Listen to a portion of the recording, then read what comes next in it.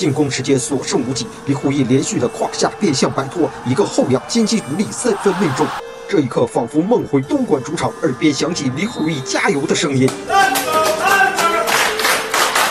分差由领先十五分被追到了个位数，又是李虎义站了出来，四十五度一记三分稳定住了局势。当第四节领先了二十一分的时候，对手不到两分钟的时间连追十分，分差只有十一分了。这次又是李虎毅挡拆之后，发现对方中锋不断沉退，罚球线附近的一个小抛投稳稳命中。增肌之后，曾经一段时期虎子投射不稳定，但随着热身赛的进行，看来已经重塑了肌肉记忆。上赛季在总决赛都有了稳定轮换时间的李虎毅，相信下赛季他会成为郭艾伦合格的替补。